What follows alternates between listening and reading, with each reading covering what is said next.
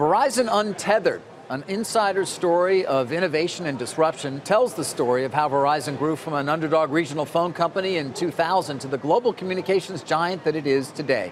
The author of that, author of that book is the former chairman and CEO of Verizon, Ivan Seidenberg, and he joins me now. It's been a long time yes, since Dave. you and How I you sat down. I'm Great well. to see you. Yes. As usual, in your understated way, your book is not about you as much as it's about all the other people and all the decisions that made Verizon a very strong competitor and company during, of course, what was your very successful tenure. Why do you always take a back seat on these things, Ivan?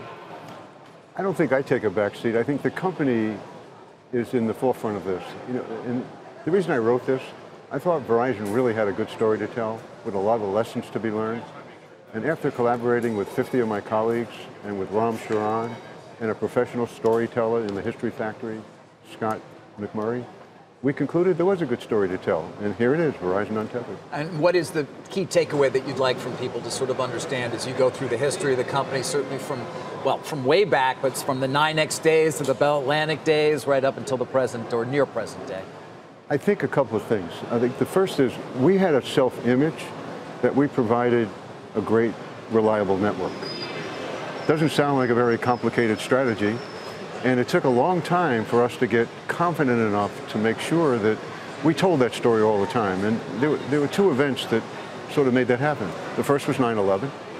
9-11 said it's okay to provide a great network, and getting the stock exchange back up and running was a great, a great achievement by our people. or right, right, not far from here, of course, which was partially destroyed in the work you guys did in those days. That's right, 140 West Street. And the other point was the famous commercial, Can You Hear Me Now? That sort of reinforced our self-image, that our story is all about providing a great service to our customers. Yeah, you know, it's interesting in reading that part, uh, and, and it's hard to understand exactly how important that might have been for the company. I mean, advertising, it, re- it really, and marketing becomes that important in a sense for, for the growth that you saw? Well, that's interesting. It- yes, uh, I think you leverage that once you achieve what you wanted to achieve, with, with, which was getting the stock exchange back up and running. But since we're on your show, for years, analysts would say to me, "What's your strategy?" And I always tell them, "We don't want to provide great networks," and that never sounded exciting enough. But 9/11 and Can You Hear Me Now reinforced the self-image and the, the foundation of what the company was all about. Right, and that still seems to be the theme, though. There are some now who say to Verizon, well, the differential between you and your competitors in terms of network quality is not what it once was. You can't win on that anymore. And certainly your successor, Lowell McAdam, has had a more difficult time, I would argue, than perhaps you did in terms of the competitive landscape. Well, I think the current state in the industry, there's enormous amount of disruption and discontinuity. Ram Charan talks about that in the book. So Lowell's facing, I think, a harder job than I faced. But even though the competitors may be providing better networks, Verizon continues to lead the league in all the awards and all of the, uh, the accolades about what their network's all about. And when you get to 5G, uh, it's another game changer. Yeah, And tell me what your thoughts are, because Lowell's actually was here with me a few weeks ago talking about really specifically the promise of 5G. It does seem to be an area, once again, where Verizon is trying to lead with the network quality, with all the innovation. Are they going to be successful? No, absolutely.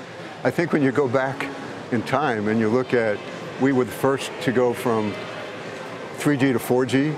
Now we're going from 4G to 5G. Uh, we put FiOS in, which now leads to a, a whole generation of new fiber optic broadband networks. So I, I think here's the thing. Verizon, I always thought, viewed itself as an enabler for other people to create platforms around a robust network. And so I think the opportunities that will come to the company once they install and deploy broad-scale 5G will be far greater than thinking about the limited number of the companies that are in the universe today that you can buy. So I really like what they're doing, not because that's the only thing they will do, but it's the first thing they, they will do now, which will lead to even greater opportunity coming in the coming years. You know, it's funny in looking at the and reading the book, the pace of change in technology, the pace of change in terms of decision making, how quickly things can change, only continues to increase. You know, what do you advise current CEOs in terms of how to deal with that? Well, first of all, you have to pay attention to your customers.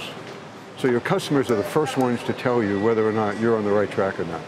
You can have great strategies, you can have all these mergers and acquisitions. Your customers will tell you. So in our case, we worried about sales growth, churn, quality metrics. Uh, The market tells you exactly what you need to do. The other thing is every company needs to stick to first principles. And in our case, running a good network is first principles.